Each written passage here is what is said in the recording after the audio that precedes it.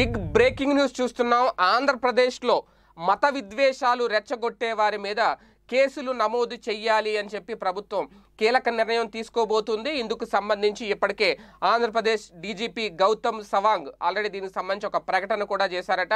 అయితే ఈ మత విద్వేషాలు రెచ్చగొట్టే వ్యాఖ్యలు చేసిన వారిలో చంద్రబాబు గారి పేరు కూడా ఉంది అనేది. అయితే ఈయన మీద ఎటువంటి కేసులు నమోదు చేయాలి అనేది న్యాయ నిపుణులతో ఆల్రెడీ చర్చిస్తున్నారు అనేది ఇప్పుడు సోషల్ మీడియాలో వైరల్ అవుతున్న అంశం. అయితే తాజాగా జరిగిన పోలీస్ డ్యూటీ మీట్ ఏదైతే ఉందో ఆ నేపథ్యంలోనే కొన్ని వ్యాఖ్యలు చేశారు గౌతమ్ సవాంగ్ డీజీపీ.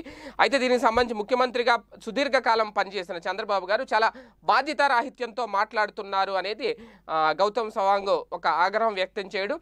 అంటే తన మతం ప్రాంతం గురించి మాట్లాడడం కూడా. ఎందుకంటే గతంలో చంద్రబాబు గారు చేసిన వ్యాఖ్యలు చూస్తే డీజీపీ ఒక క్రిస్టియన్ హోంమంత్రి ఒక క్రిస్టియన్ ముఖ్యమంత్రి ఒక క్రిస్టియన్ అంటూ ఆయన సంబోధించి చేసిన వ్యాఖ్యలు ఏవైతే ఉన్నాయో అంటే నార్త్ ఈస్ట్ నుంచి వచ్చారు ఈయన డీజీపీ అనేది. అంటే దీని మీదే ఇప్పుడు గౌతమ్ సవాంగ్ గారు ఈ నేపథ్యంలోనే. అంటే తాము ముగ్గురం క్రైస్తవులం కాబట్టి హిందువులకు రక్షణ లేదు అన్నట్లుగా ఆయన వ్యాఖ్యలు ఉన్నాయి అంటే. అంటే ఒక రకంగా చెప్పాలంటే హిందువులను రెచ్చగొట్టే వ్యాఖ్యలు ఇవి.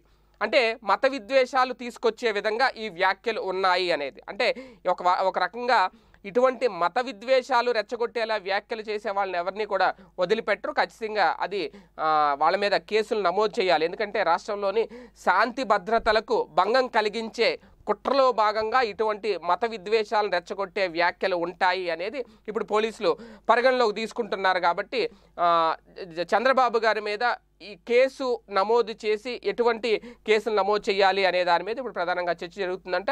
అయితే రామతీర్థం ఆలయం ఏదైతే ఉందో రామతీర్థం ఆలయం కొండ కింద ఉంది కాబట్టి బోడి కొండపై ఉండేది చిన్న గుడేనని చెప్పిన డీజీపీ కింద ఉన్న అసలైన గుడిలో సిక్స్టీన్ సీసీ కెమెరాలు మొత్తం పదహారు కెమెరాలు ఏర్పాట్లు చేశారంట. మరిన్ని కెమెరాలు కూడా అక్కడ ఏర్పాటు చేయడానికి రెడీ అవుతున్నారు. మరొక మూడు రోజుల్లో వాటన్నింటినీ కూడా పూర్తి చేస్తారు. అయితే రామతీర్థం ఘటనకు కారణమైన వారిని ఖచ్చితంగా ఆల్రెడీ జైలుకి పంపిస్తాము అని చెప్పి ప్రభుత్వం చెబుతుంది పోలీసులు కూడా చెప్తున్నారు అయితే ఎందుకంటే దేవుళ్ళతో ఆటలాడే వ్యక్తుల్ని ఎవరిని కూడా ఉపేక్షించేది లేదు అని సిఐడివి ఛానల్లో చాలా విషయాలు వెలుగులోకి వస్తున్నాయి.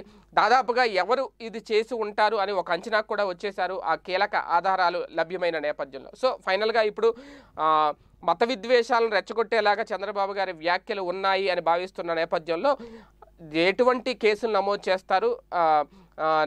చంద్రబాబు గారి మీద న్యాయ నిపుణులతో చర్చించిన తర్వాత ఈ అంశం మీద ఒక క్లారిటీ వచ్చేసే అవకాశం ఉంటుంది. కానీ మొత్తానికైతే ఈ మత విద్వేషాల పేరుతో నారా చంద్రబాబు నాయుడు గారి మీద కేసు నమోదు కాబోతోంది అనేది ఇప్పుడు ప్రధానంగా వైరల్ అవుతున్న అంశం.